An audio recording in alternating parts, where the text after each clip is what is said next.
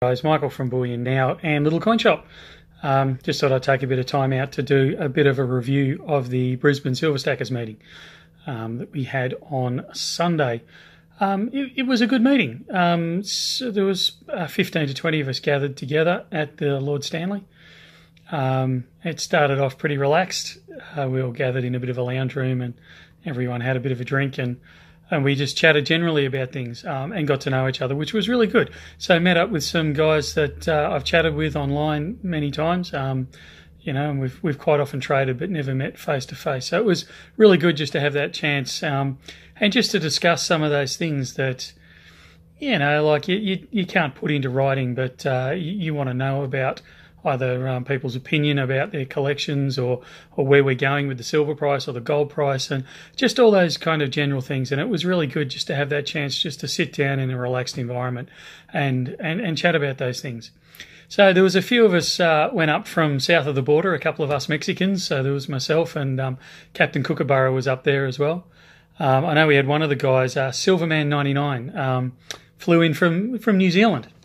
So there was quite a few people travelled around. I know a couple of the guys said they'd been travelling an hour or an hour and a half to, to get to the meeting. So all you guys that say, you know, oh, it's more than half an hour from where I live, you know, you're kind of a bit missing out. Um, need to have a bit of dedication to the cause there.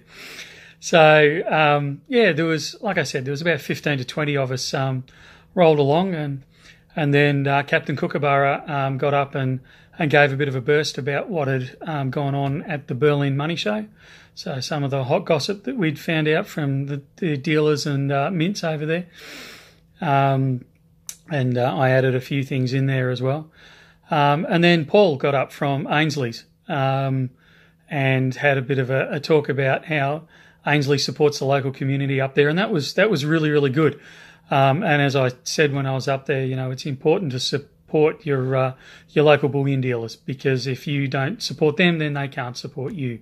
And uh, Paul was pretty straight down the line. He, he um, described what they do there, and uh, yeah, it was really good. So I encourage anyone in the Brisbane area to um, to support uh, Paul and, and Ainslie's Gold up there. Um, they do a fantastic job. So that was really good. Well, we had a good discussion there, and then um, we uh, we all got out various silver and, and gold items, and there was a bit of um, a bit of direct one-on-one trading and and then we had had an auction, and there was um, some really great pieces there. I know CK sold a um, sold a, a, little Perth Mint.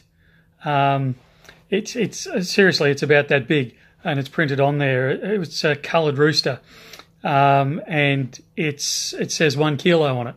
Um, and there's a few of them around. They're a special uh, mintage brought up by um, by done by Perth Mint for a Chinese collector. Um, and they're very, very rare. So somebody picked up a bargain with that one. And I do remember who it was, and I know I have to send you the details from Perth Mint about that, and I'm still getting to it, but I will get there. Um, there was all sorts of great things. There was a uh, one of the guys there had a bit of a story about some um, some coins that he'd picked up um, for not much more than spot, from what I understand, and quite a number of them turned out to be um, the XAGs, the the rare rams, and, and that sort of thing. So of course, that got Captain Kookaburra quite excited, and uh, they had a good discussion about that. Um, there was lots of lots of gold and silver went at um, spot or slightly above at the auction. So quite often we see on Silver Stackers people saying, "Oh, I can't get gold at spot or I can't get silver at spot." Come to the Silver Stackers meetings. You'll be amazed at what you pick up for spot or very close to. And in fact, a couple of items went for less than spot. So you know the, the bargains are there. Um, you're not doing you're doing yourself a real disservice by by not turning up at these silver stacker meetings because um, you you can more than cover your costs just by coming along with some cash and picking up some real bargains. I know that um, I, we took some up from um, Bullion now. Um, took up a few from Little Coin Shop as well, but there was some some good buys, um, some fractional gold we took up. Um, and I know one of the gentlemen there picked up some screaming bargains um, for fractional gold, paying pretty much no premium over spot, which is just unheard of for half gram and, and 125ths and 120ths and 110th ounce um, uh, gold coins. So some real bargains there and great conversations and great to meet people of like mind. So look, I can only encourage you to, to go along to these Silver Stacker meetings Um, we're hoping to do another one in Brisbane in about three months, so uh, February, March, April, so around May, mid-May sort of time. So put that in your calendar if you're um, in Queensland or able to get to Queensland. Um, we've got one coming up in Melbourne very soon. It's tentatively booked for the 25th of March, but don't uh, mark it in the calendar, but don't turn up on the day. I know one of the guys was telling me he turned up a day early for the um, for the Brisbane meet, so don't do that, and don't turn up on the 25th of March in Melbourne until we confirm the date um, and the place there. So it will be a change of place at this stage from the normal Melbourne meeting. Um, but again, I know that the Melbourne meetings um, that I've been to, quite often you'll get silver and gold at spot, or not much more, and even some of the rarer, um, you know, bars and coins and things like that, the, the more rare collector items. Um, quite often I see them go for crazy prices. New stuff I see going for less than I pay for it as a dealer out of you know places like Perth Mint. So you you will cover your cost if you turn up. Um, for all people say, oh, you know, I can't afford to go and that sort of stuff. If you're buying, if you're in the market to buy silver and gold, you will cover your cost. You'll have great conversations. You'll learn a lot. Um, and you'll find out what's going on in the industry. So, like I said, Brisbane in, a, in about three months, mid May, Melbourne in mid March, about the 25th. Um, I know there's guys that meet in Sydney. I know there's um, some meetings in Adelaide, although I don't know how frequently over there. And we'd really like to see if we can generate the interest. We're we're trying to encourage um, uh, something down in Launceston, and uh, it'd be great to see one in Auckland as well. And um, I know Bullion Now will support it. Um, whether we can go or not is a different matter, but we'll definitely support it in some way, whether that be a, a donation of um, of some products or sending some products over there if we can find someone to to um, you know take responsibility for them and auction them for us.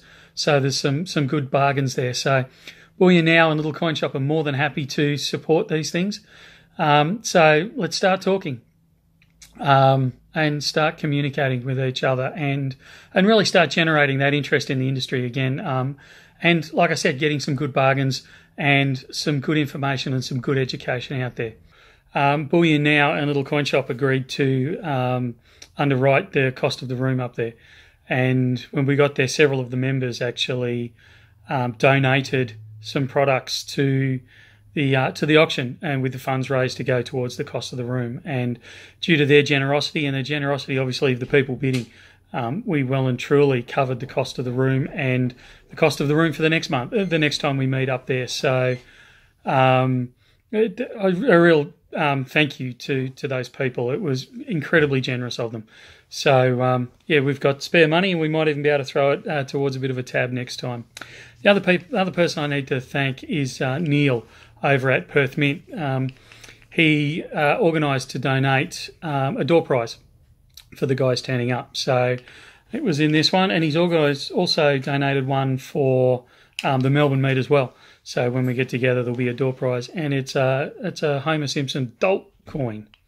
So if you look on eBay, you can see how much they're going for. So a very a generous offer from Perth Mint, um, and it shows their commitment to um, to helping um, the uh, the silver and gold stacking community.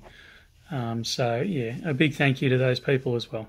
So that that's about it. Um, like I said, great meeting. Had a ball up there. The guys up there are fantastic, and the girls. Um, you know, they're just fantastic, so welcoming and so open with the information and, and, that sort of stuff. So it was a great time had by all, and I can only encourage you to join in in whichever state that um, that you manage to get to.